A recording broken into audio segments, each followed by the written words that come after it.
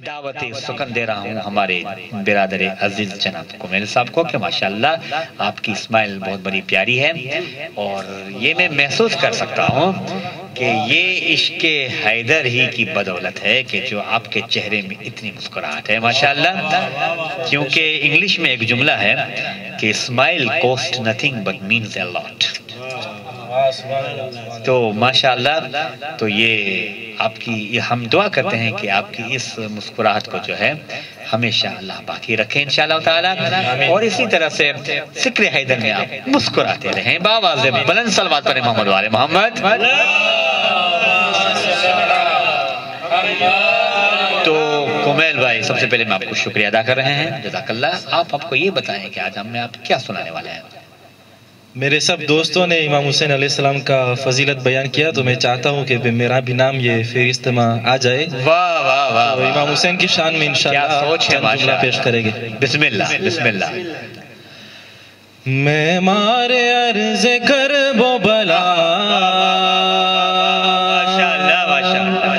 میں حسین ہوں۔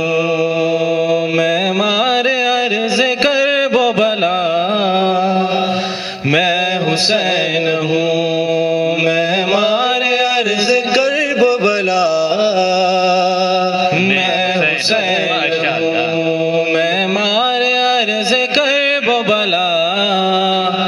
میں حسین ہوں۔ راہب کے ساتھ بیٹے تو معمولی بات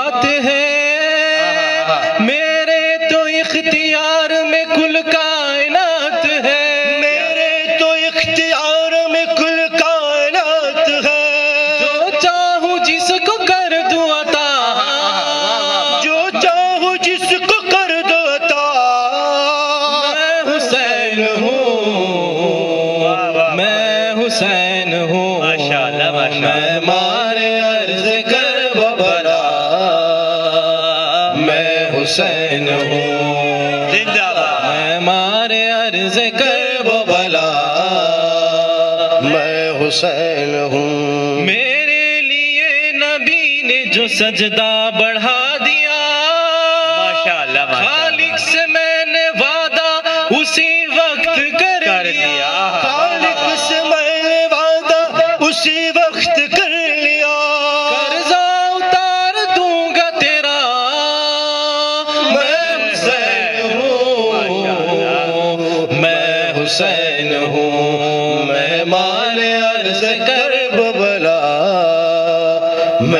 حسین ہوں۔ میں مارے عرض کر ببلا میں حسین ہوں۔ واقف۔ نہیں ہے وہ میرے جاہو جلال سے۔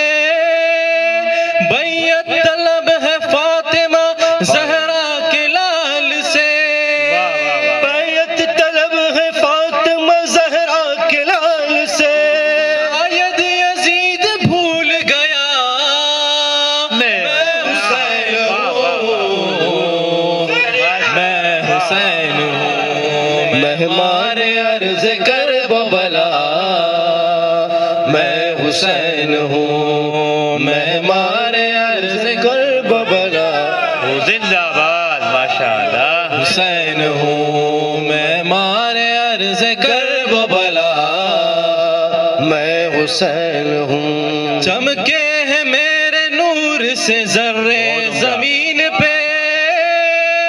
تم کیا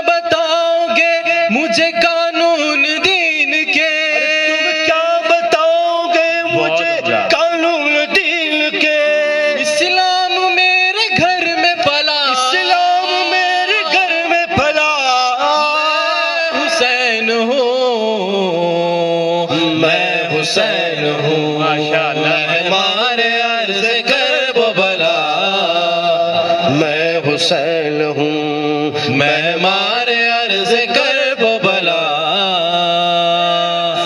میں حسین ہوں. ایک دن میں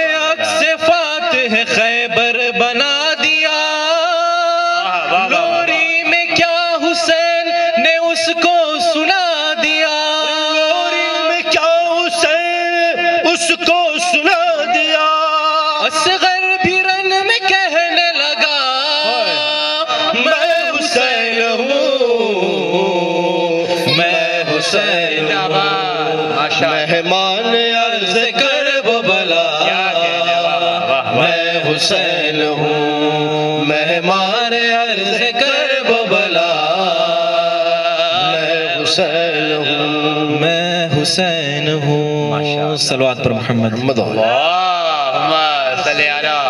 محمد وآل محمد، ہم شکریہ ادا کرتے ہیں کمیل کو جنہوں نے ساتھ دیا دانش بھائی۔ ماشاءاللہ بہت عمدہ اپنے کلام پڑا اور مولا آپ کو سلامت رکھے۔ میں حسین ہوں، ایک تعارف تھا مولا حسین کا کہ جو انہوں نے بہترین انداز میں فرمایا۔ امام حسین کا علیہ السلام کا تعارف کرنا، یہ ہمارے بس کی بات نہیں ہے۔ کون کر سکا ہے تعارف مولا حسین کا؟